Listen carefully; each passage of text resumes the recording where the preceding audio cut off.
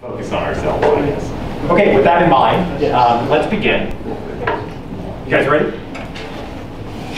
So I did make a note that the homework will be due on Wednesday. That's at the midterm, so you can turn it in at the beginning of the midterm. What I personally think is you will be off track if you don't have it done by Monday. But I don't want to force that. I know some people have corporate partners obligations this week. We've been a little bit late on getting everything done. So if you if you're running a little bit behind, you know, maybe it's like typing it up or writing it up nicely, that can wait, you know, until the Wednesday or something like that. But I really do think you need to struggle with this homework over the weekend. So I don't want to tempt you into waiting until Tuesday because you need to do all that studying for the midterm to be prepared. And it's going to be my midterm, it, it's not going to be brutally hard. It's going to be things that you've seen over and over and over again. So I'm going to be drilling you on things that I really think you should know and should be able to do quickly. But the only way you can do it quickly at this point is if you've done the homework repeatedly. And so that's also, go back through your old homeworks as well, see if you can do those problems, you know, without having to refer to your notes. So midterm will be closed book, so no notes, you're allowed uh, a pen and, and some scratch paper, and I'll bring your scratch paper for you. So no formula sheet, nothing like that. So you're responsible for all of your distributions, expectations and variances would help you with that. So you can kind of imagine, I'll probably do one of those iterated expectation variance things, and knowing what your expectations are off the top of your head will make a hard problem really easy. So try to prepare yourself, um, but you do not have to turn in the homework until Wednesday. But I think that you should still be on top of all of this stuff. Okay. Um, I did write down the Wishart distribution. This is what you would be using on problem six of the homework. Hopefully we can get there in this lecture. Um, you're actually going to be looking at the inverse Wishart distribution for your homework. So this is the typical distribution you would put on sigma inverse, the precision matrix. I did give you a handout on the precision matrix. It's on the website. So if you want its interpretation and what I said very quickly in class, um, I wrote that all up for you. So there's a, a PDF on the webpage that you can read too, or what the interpretation of the precision entries are. So I interpret them as conditional independencies I give you that interpretation at the bottom of the PDF that I typed up for you. Um, and if you're if you've taken like regression when you were an undergrad, those are the same things as your partial correlations. So partial correlations and uh, precision entries are the same things. So you might not have thought about that before. Um, we'll be placing um, prior distributions on that big covariance matrix, and you can place the prior distribution on the precision as well. So um, you might calibrate it differently and think about it a little bit differently, but they are one-to-one -one with each other. Okay, so hopefully we'll get around to touching the, the Wishart distribution by the end of the class. Um, you don't need to memorize this for the test. I will never test you on the Wishart distribution.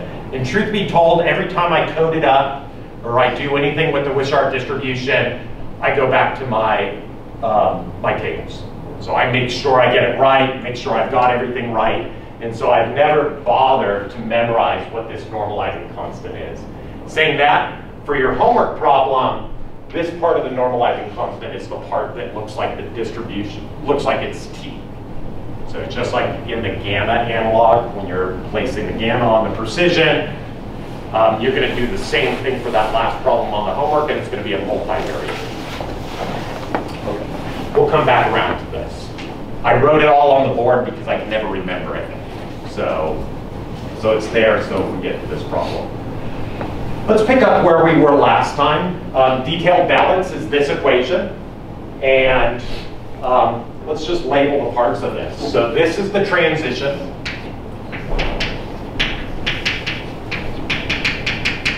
So this equation applies in Markovian spaces. And so it tells you what the stationary distribution of something is. So this is the transition of moving from theta t to theta t plus 1. So I think last time I probably wrote it with theta t minus 1 to theta t. It's all the same thing. Um, this right here is the stationary distribution. And if I didn't tell you that this was a Markov chain, you would probably understand this equation as this is a conditional probability, and that's just a marginal distribution. And so in non-temporally indexed processes, that would be the correct interpretation. And so that exact same thing happens here.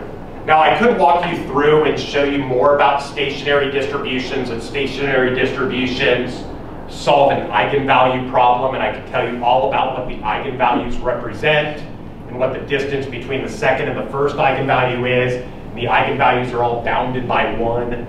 Um, I could tell you lots of stuff about that, but I would leave that for an MCMC class. We'd go into all of that theory. So this is kind of a light version. We'd probably build up this equation, but I think we can understand it intuitively. Where this equation comes from, that if this is the conditional probability, then that's the marginal distribution. Um, in a Markov process, we call it, we use different names for things. So transition rate. If it were a discrete probability, we call it a transition probability.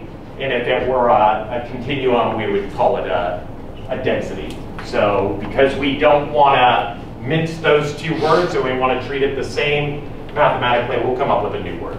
We'll call it rate. This is the backwards transition. So if I took a Markov process and I just looked at the states forward in time that came from this forward process, the transition rate, so with those probabilities, if I just took that process and I looked at it backwards, that would be the backwards thing. And some processes are time reversible, that the forward and the backwards rate are exactly the same things.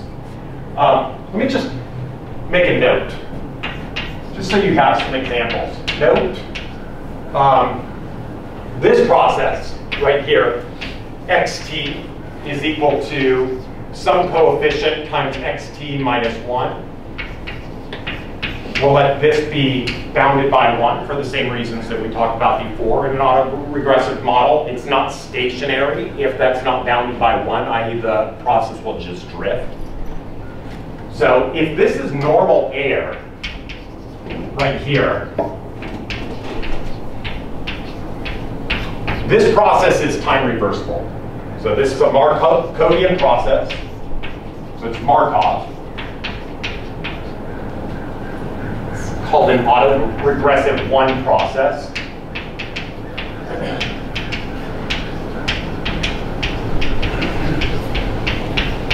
That's the lag right there. If you regressed on two things, it would no longer be Markovian.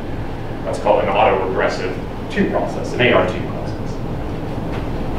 So if this is normally distributed, if you ended up looking at the realizations of this, so we start somewhere. If I started in the stationary range, then this thing would be stationary, right here. I'm not trying to make any funny patterns, so that probably should look like that. So I'm just not a very good artist. XT, those are the XTs. So the realization from this process right here, you can imagine if I simulated it, it would just look like a fuzzy caterpillar. And if I took that fuzzy caterpillar and I took this block right here in the middle of it and I spun it around, you wouldn't be able to tell if you just were visually inspecting it. To me, at an engineering level, that's what reversibility means, is that I could spin around the samples and you couldn't tell me I did it, you couldn't see where I did it. So if I shift it all over the place, you couldn't tell me that I did it because it would be stationary. So the distribution would be the same at any time point. So this is time reversible.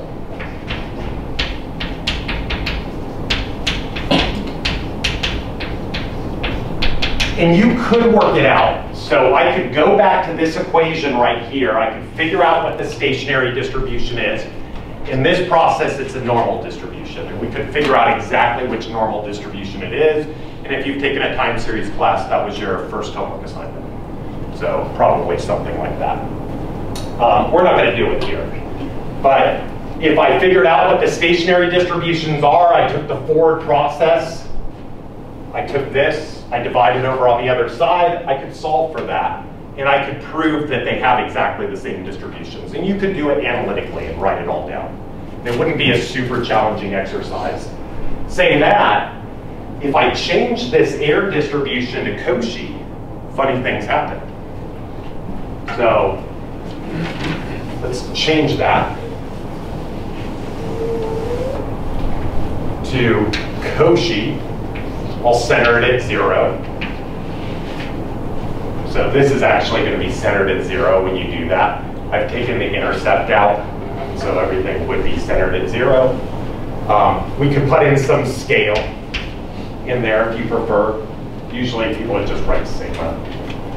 So, but just the same thing. So if I had Cauchy innovations, Cauchy errors, this process would look totally different. It would look like this. Cauchys kind of look like normals. Like if I just showed you the bulk, the middle of a Cauchy distribution, and I said, is that Cauchy distributed or is it normal distributed? You couldn't tell. What gives you the ability to differentiate is what's happening in the tails.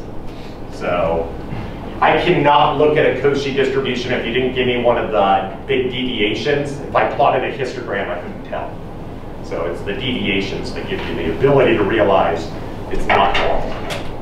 So what would happen is this would kind of be looking like the other thing that it would look very time reversible in these steps. But then all of a sudden there would be a jump. And let's say the jump was very negative. Bang. So that would probably be even farther. And then what would happen is this would slowly drift back up. And it would be hovering around there. And then if the deviation went over here, same thing would happen. This would slowly deviate. If there wasn't another big jump in the middle, it could happen. And it would come back down and it would hover in here. This is not time reversible.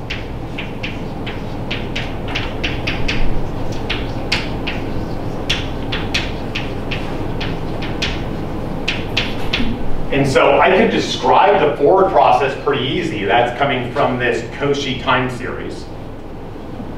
Um, the backwards thing, I'd have to solve for its stationary distribution. It's not an extremely easy calculus problem. Absolute values show up in it, so it makes things tricky. Uh, but you can write it down. There is an analytical closed form of that stationary distribution. I can tell you what it is. It's not a distribution that you know off the top of your head. And then I could do the same thing and I could take the forward process and divide and multiply by the margins solve for that backwards process. And it would be a really weird equation. What would it look like if I were trying to innovate? It'd look like this thing backwards, where it kind of slowly drifts up and then bang down. That's not Cauchy. That's something different. So that's a non-time reversible thing. And if I look at it in the forward and the backwards direction, it's not time reversible. So that's the, the notion of um, a time reversible distribution. So if that thing is that, it's time reversible, and if they're different, they're non-time reversible. I'll point out that a Gibbs sampler is not exactly time reversible. So if we ended up solving what the backwards distribution is, we could do this analytically, we won't do it today. But if we were updating random variables, let's call them x, y, z, and I sampled from the full conditional for x, the full conditional for y, the full conditional for z, and I just iteratively did that, it would give me joint samples from x, y, z. What's the backwards transition? It would actually be the reverse direction, updating z, y, and then x. And so it's not time reversible, but in a very trivial manner.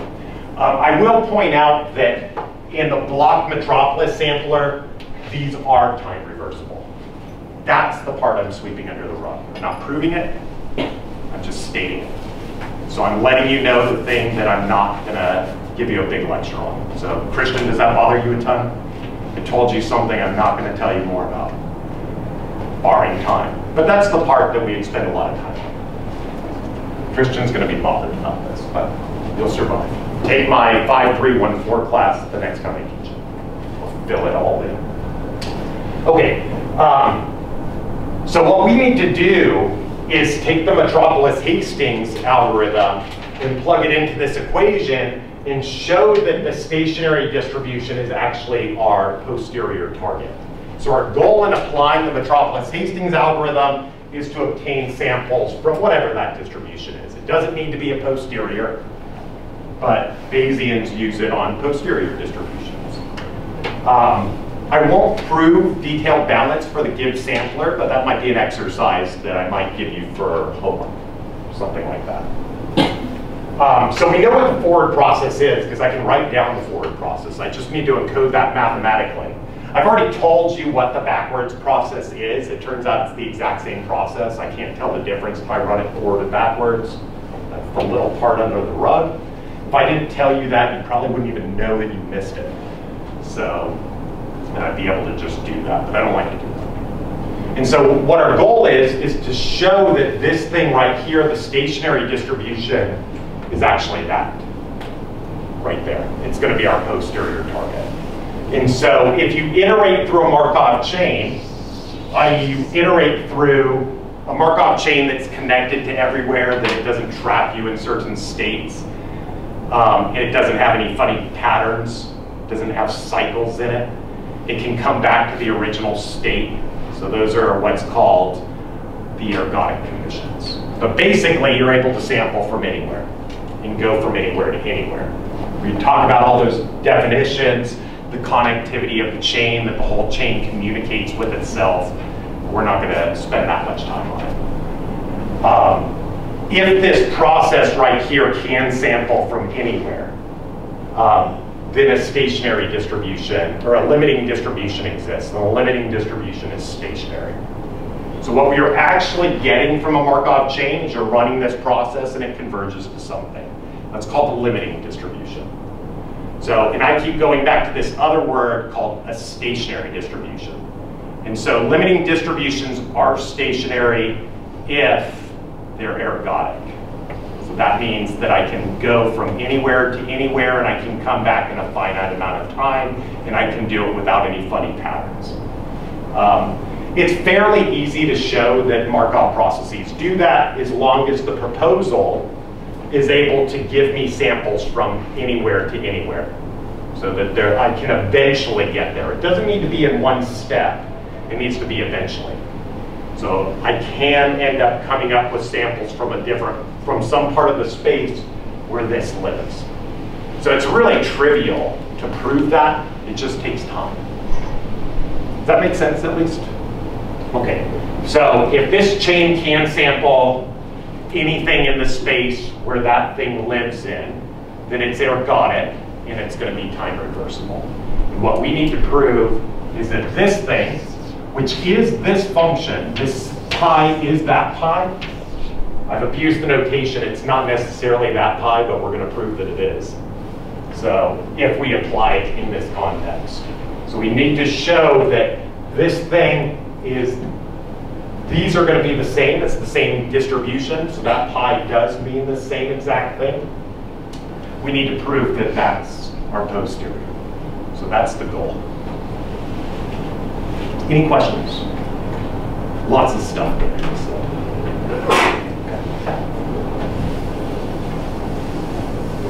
You cannot do this without staring at the algorithm.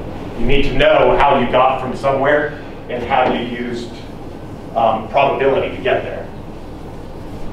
So let's write this down. So we want our transition rate. Theta star, I'm going to plug that thing in right here. Let's see this. Theta uh, t plus 1 given theta t. So we need to write this thing down, figure out what it is. There's only two steps involved. So to transition from whatever this state is, so I'm thinking about a specific value for this, in moving to another state, I need to figure out what the rate is that I got there.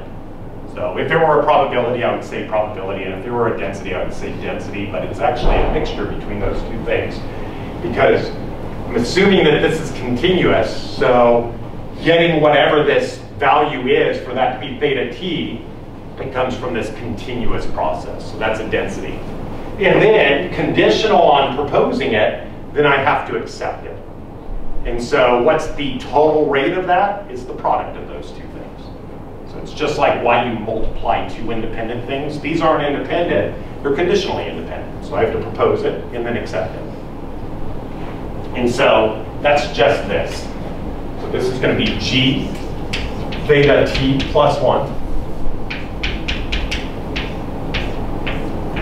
theta t times alpha. And I'm going to be a little bit more clear about this, just so that we know what that alpha is. So let me just change this to theta star given theta t. So I'm moving from theta t to theta star. I've said what I've updated, so my theta star is now accepting that move, whatever that, that thing is. This is either where I was last time or theta star. It's one of those two things.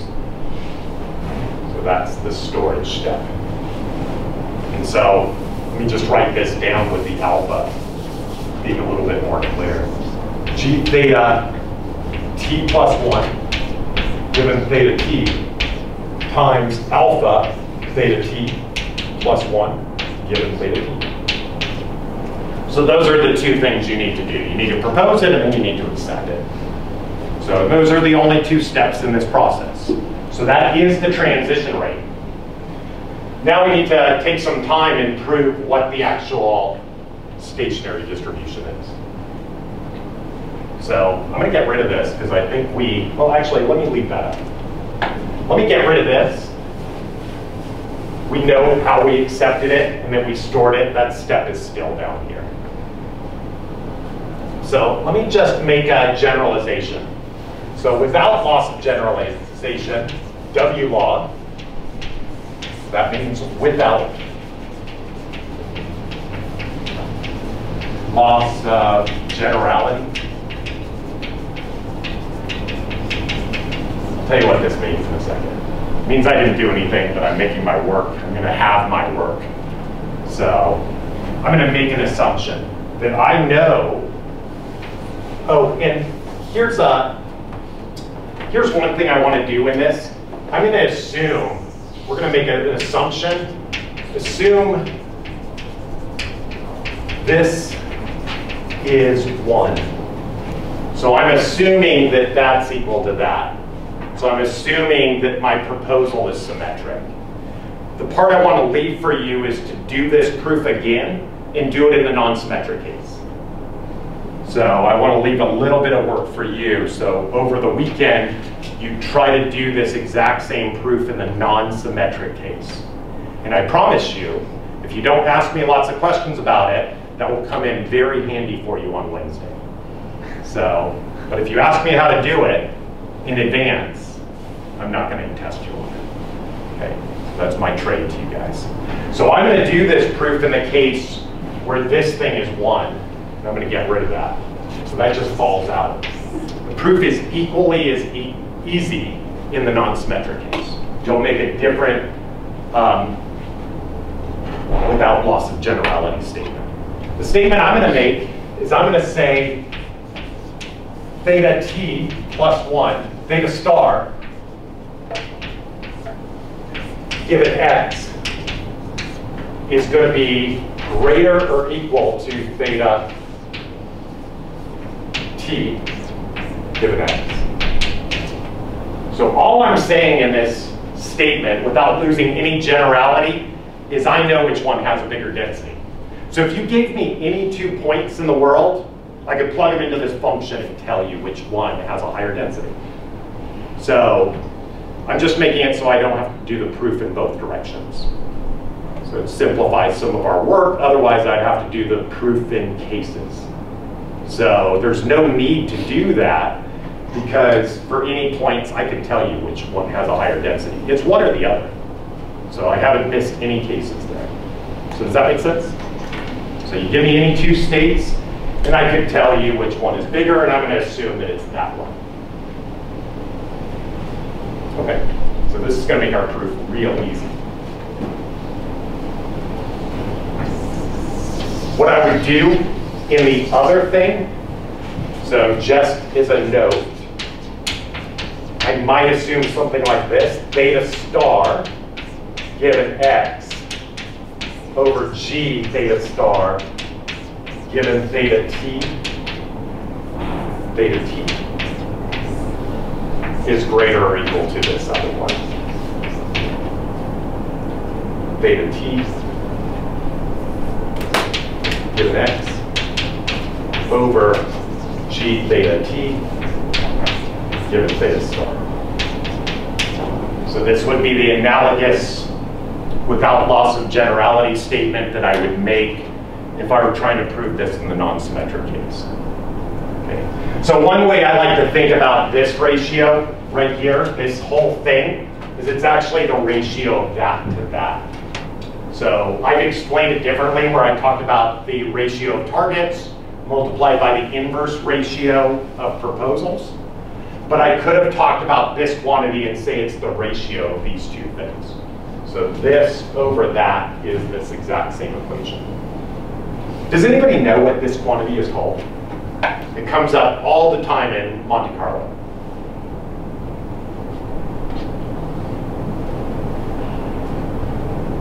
Almost every Monte Carlo algorithm I know, this thing appears. So for AR sampling, accept reject or envelope sampling, it shows up. So in importance sampling, it shows up. And in MCMC, it shows up. Comes in through the ratio. That's actually called an importance ratio.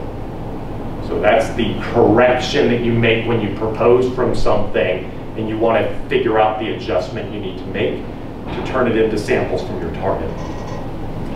Lots of stuff there. So I could draw you a picture and we could go over that. Again, my Monte Carlo class covers all these details. So you don't need it for this class though. So that's the little bit that might come in handy on Wednesday. Okay, I'm going to start with that. So without loss of generality, this is true. Let's write down what our acceptance rate is. So rho theta t given theta star. Whoops. Theta t, this is plus one. I have an ability to change my notation eight times in the same lecture. I think I've gotten consistent though.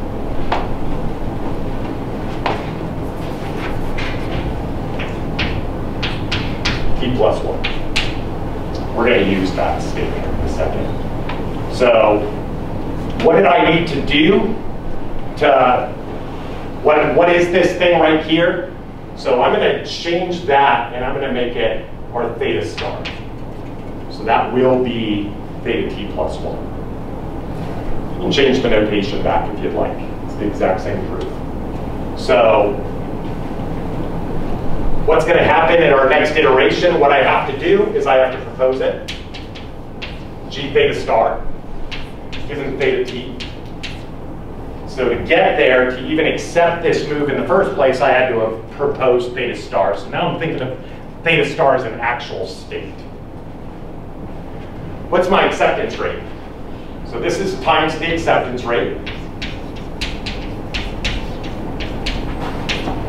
That's what's going here. So we have to go back and stare at this algo for a second. Somebody work out that math for me. It's one. So why? Because of that. That's the part that I'm that our without loss of generality statement is giving us. That I know that it's accepted and I can make the move. So this is one because of that. So I necessarily make the move. Let's go back the other way. Theta t given theta star. So assuming I've made the move, what's the rate of going back to the other location, the backwards transition? This is g theta t given theta star. First I need to propose it.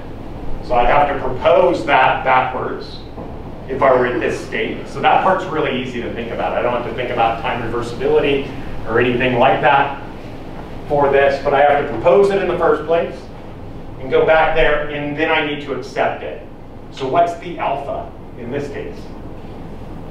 It's not 1.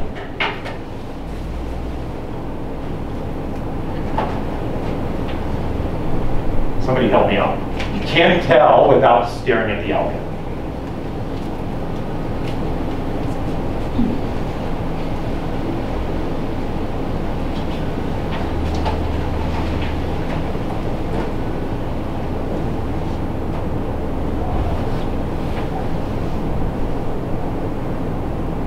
So in this case, it's actually a probability.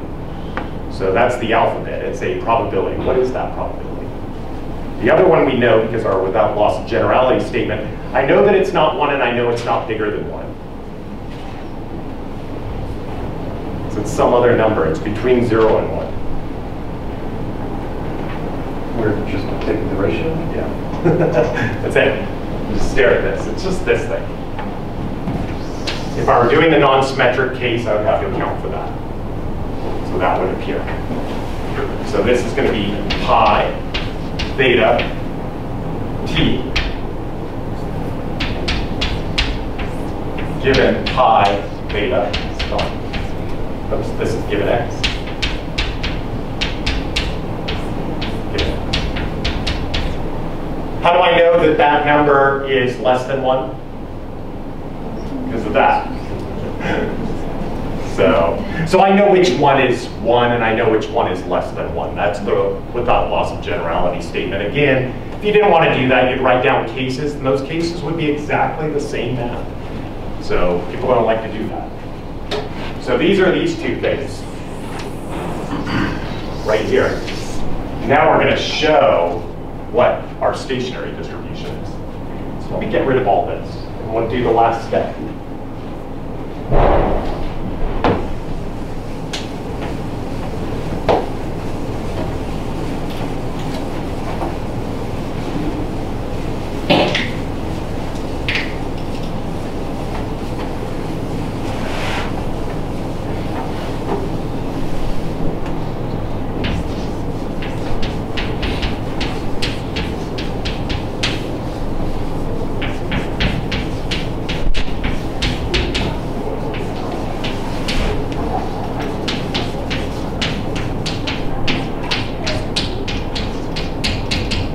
It's detailed balance, I'm just switching the notation from my t plus 1 to my star. So same thing that we had before.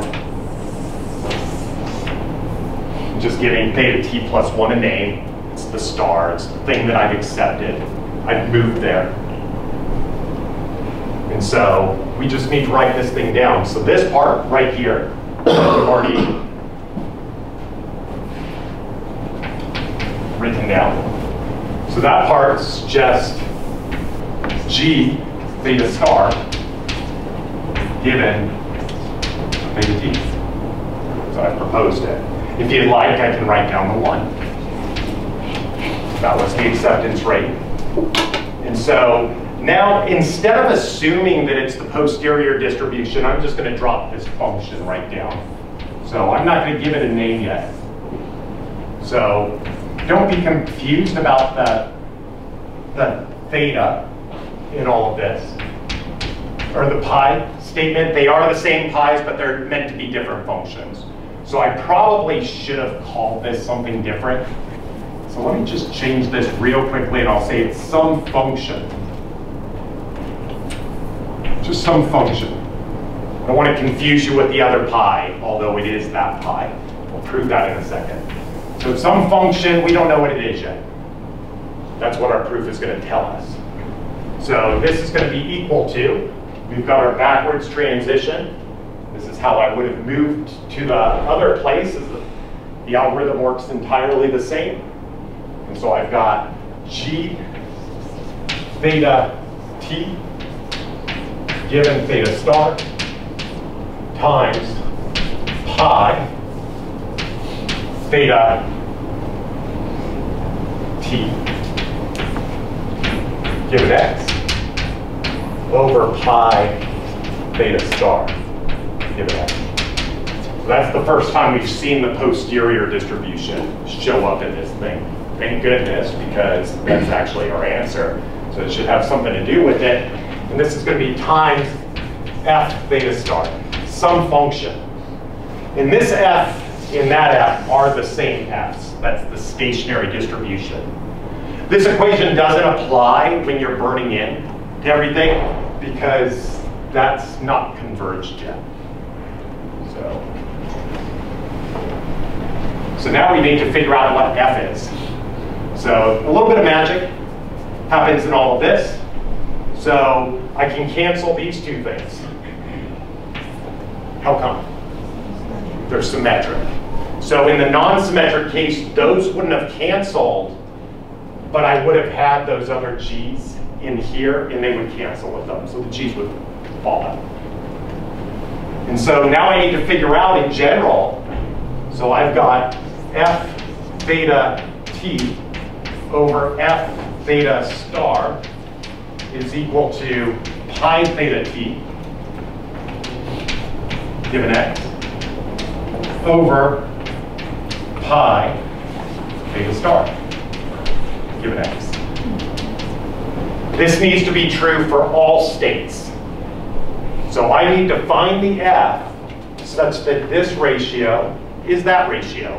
And it needs to be true for all states. Now I won't make this mathematical proof, I'm sure it's long, but there's only one function in the world that I could evaluate everywhere, and it's exactly the same function.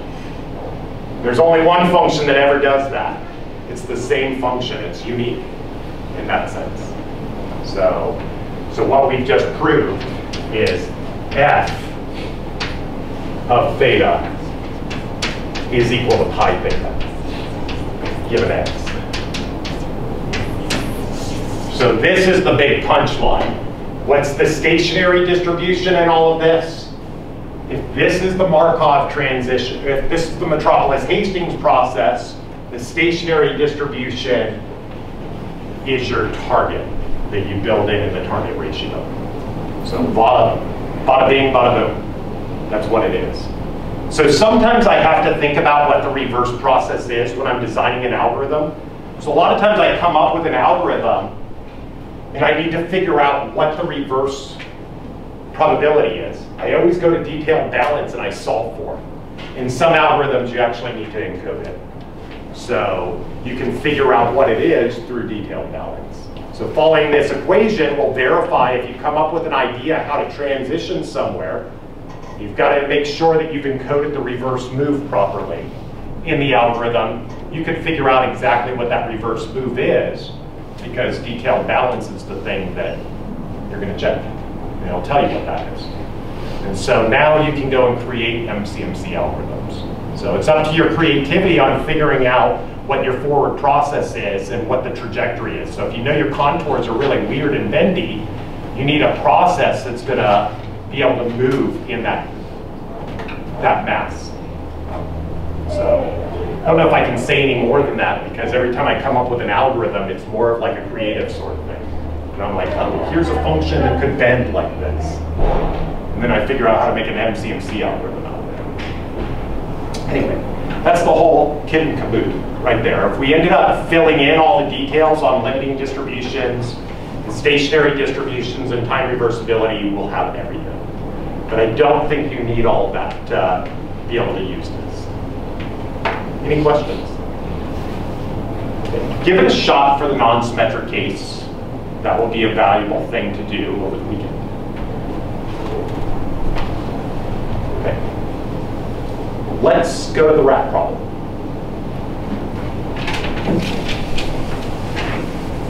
This is where all the Wishart stuff is going to come in. So we'll pick up with the Wishart distribution next time.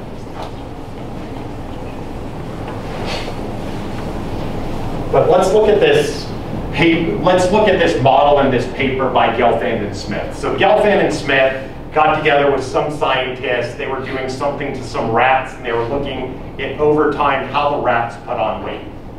And they had this key question of, is their initial weight associated with their propensity to put on or take off weight? And it turns out the answer is yes, they are associated with each other. And you can look in the paper and figure out if that's a negative thing or if it's a positive thing. They put on weight more because their initial weight was higher, or does that lead the rats to take off weight? It has everything to do with what the scientist was actually studying. Now, I don't think Gelfand and Smith cared at all about that. I think they just wanted to write the Gibbs sampling paper and do some Gibbs sampling. So it kind of feels that way when I look at the paper. So you can look through their results, and I'm going to ask you to actually take their data set and code up those full conditionals I'm having you work out on this homework. You'll do that on the next homework. And so you'll have to pick priors, and you might have to read their paper and figure out which priors they used. And I'm going to ask you if you think their analysis was reasonable. I'm a little bit suspicious. So I think that they put a lot of weight on their priors. So to make everything work, you will be the judge. So here's their model. So this is going to be the rat weight, rat eye, eyes, rat eye weight at time t. I'm going to write it down like this. Also for your full conditionals, you're going to ask me how many time points does it go from, let's just say 1 to cap t. You can use that letter if you'd like. And there's going to be, I don't know, um, I goes from 1 to n. That's the typical thing. It's kind of weird. It's always I goes from 1 to n. I goes from 1 to cap i. But everything else doesn't follow those rules. Okay. So here's the model. So it's going to be each rack has its own parameters. We discussed this at some point last week. So hopefully this isn't totally brand new. So this is going to be normally distributed with some variance. So the way we understand this model is some version of time series, but it's like a pretty clunky version of time series. So what I'm doing is I'm regressing on the actual time. So time is going to be some index. It's going to go from 1 to cap t. If beta is positive, this is going to be an increasing function. So they're going to be accumulating more weight as time goes on. And if beta is negative, oh, and let's make that a 0. If beta is negative, then they're going to be decreasing weight over time. And every rat has its own parameters. Those parameters are somehow a proxy for the rat's genetics whatever it is that the scientist is studying. You know how this stuff is. So we do things to rats all the time, see how they behave, and we hope we can extrapolate that to humans. Maybe we can. Um, this is the initial weight of the rat right here. That's its propensity to put on or take off weight. So that's the idea in all of this. So a scientist did something to a bunch of rats, and they collected a time series of all of these weights for each one of the rats. And they're going to compare some treatment groups. You can read the paper. Um, big question is, is are those associated with each other? And what you guys should recognize is that if we didn't place a random effect on this, we wouldn't be able to estimate those parameters. So we have one rat, and we don't have any variability across the rats to estimate those parameters. And so we wouldn't be able to estimate those parameters for each and every rat. So what we do instead is we build a random effects model. I'm going to call this alpha i, beta i. This is going to be normally distributed. This is going to have some mean in it. I'll just call it um, mu. So this is going to be mu alpha, mu beta, if you will. And there's going to be some covariance matrix. So this thing is going to be sigma squared for alpha, sigma squared for beta, and then I would have these covariance terms. Sigma for those two things right here. These are the same, alpha and beta. So that's the same as right here.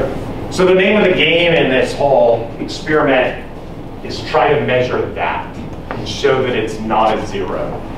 So they're associated with each other, something far removed from zero. So that's what Gelfand and Smith were interested in measuring. And so they wanted to estimate all of these parameters. And so what we're going to need, if we're going to estimate all of these parameters, is we're going to need some priors on some stuff. Just keep in mind, this is a random effect distribution.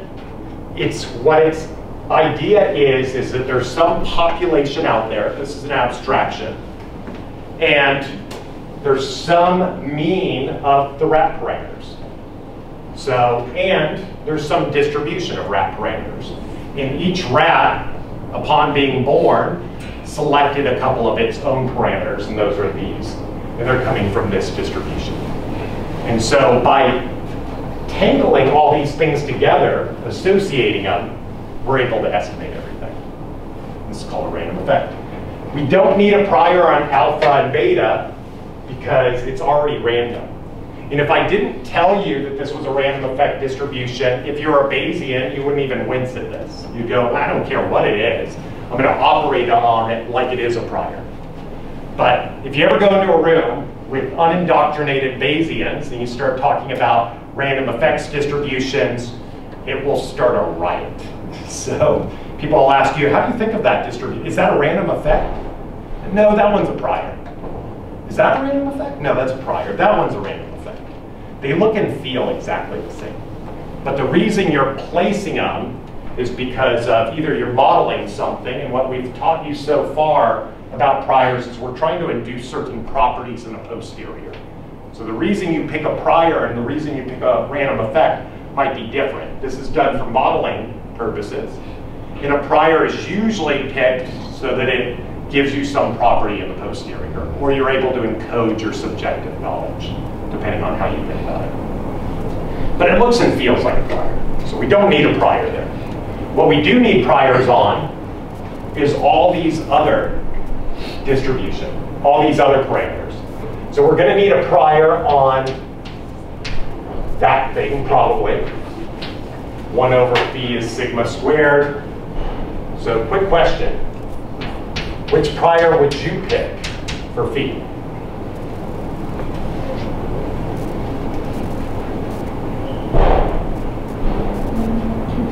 What's that? Maybe 1 over phi. That would make your life easy. So let's pick it to be some gamma. And that would encapsulate your choice. It's the limit. And so it's going to have some parameters, alpha naught, beta naught. In the paper, they put the prior on sigma squared, and they used an inverse gamma. And their alpha naught and beta naught, I think their choices, they didn't convince me when I read the paper that those were reasonable choices. I think they needed those choices to take out some of the variability in their posterior. So they did the thing that most people accuse Bayesians of doing, you know, of just picking priors at random. You can read through the paper and look at their choices. What would you pick for mu? That thing. We're going to need a prior on that. Some normal.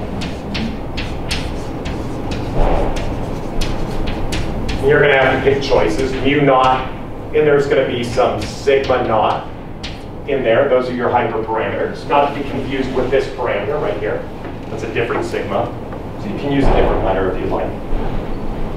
And we're going to need a prior on sigma. And which prior would we pick for that? And that's where the Wishart comes in, right here. So what I want to come back to is I want to show you that the Wishart distribution is the conjugate prior for sigma inverse, and the inverse Wishart is the conjugate prior for sigma. So we'll go through that next time. We'll show that it's conjugate. We'll write down the likelihood function for this entire process. And then your goal is going to be to take that likelihood function and figure out what the full conditionals are. And I'll walk you through that a little bit next time. So, and that will be that. Okay. Any questions? Thanks, you guys.